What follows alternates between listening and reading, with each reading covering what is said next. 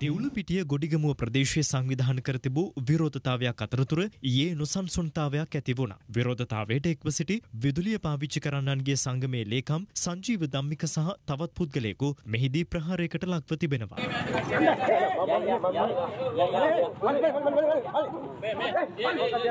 තුවල් ලැබූ පිරිස් මේ වන විට රෝහල්ගතව ප්‍රතිකාර ලබමින් පසුවනවා. කෝට්ටුවේ අරගන්නයි බීමත්ව පහරදීමට පටන් ගත්තා. ශ්‍රී ලංකා පොලිසිය බඩල්ගම සියලු දෙනා බලා ඕයිසි මහත්තයා බලාගෙන ඉද්දි තමයි පහරදීම පටන් ගත්තේ. ප්‍රතිකාර ලබමින් පසුවන විදුලිය පාවිච්චි කරන්නන්ගේ සංගමේ ලේකම්වරයා මේ සම්බන්ධයෙන් සියත ප්‍රෘතියංශයට මෙලෙස අදහස් පල කළා. පොහොට්ටුව මැරවරයෝ අපිට පහර දුන්නා. අපේ විරෝධතා පූරු ටික හොරෙන් උත්සගත්තා පන්දම් විරෝධතාවයට ගපු අපේ තෙල් ඉන්ධන වර්ග ටික සොරා ගත්තා. පොලිසිය බලා සිටියේදී ස්ථානාධිපති බලා සිටියේදී අපිට පහරවල් එල්ල කරා. සංගම තියෙන රෝහලට යන්න එපා කියලා පොලිසියත් උපදෙස් දුන්නා. මේ අතර ඉහළ ගිය විදුලි බිල සහ ජීවන වියදම මුල් කරගනිමින් ප්‍රදේශ රැසක විරෝධතා සංවිධාන කර තිබුණා. සමගි ජනබලවේගේ ජාතික සංවිධායක තිස්ස අත්තනායකගේ සහභාගීත්වයෙන් ඊයේ විරෝධතාවයක් පැවැත්වුණා. ඒ පොළොන්නරුව බැඳිවැව ප්‍රදේශයේදී පාර්ලිමේන්තු මන්ත්‍රී කින්ස් නෙල්සන්ද මෙම අවස්ථාවට එක්ව සිටියා.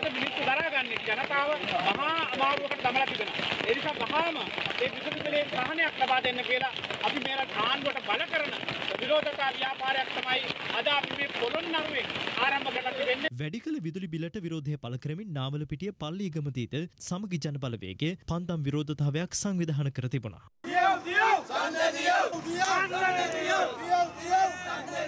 කළුතර ජනාරගල සභාව සංවිධාන කළ විරෝධතාවයක් කළුතරදී පැවැත්වන විදුරිබිල අඩු කිරීම විදායක ජනාධිපති ක්‍රමය අහෝසි කිරීම ඇතුළු ඉල්ලීම් කිහිපයක් මුල් කරගෙනයි විරෝධතාවය සංවිධාන කර තිබුණ. ජාතික ජනබලවේගේ සංවිධාන කළ විරෝධතාවයක් රම්බුක්කනදී පැවැත්වනා.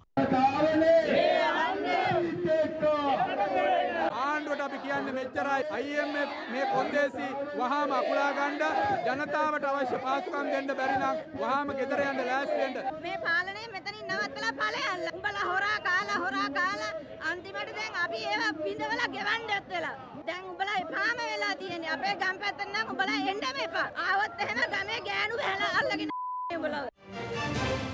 රටේ ලෝකෙ සිදුවන උණුසුම් පුව දැනගන්න සියත නිවස් YouTube channel එක අදම subscribe කරන්න.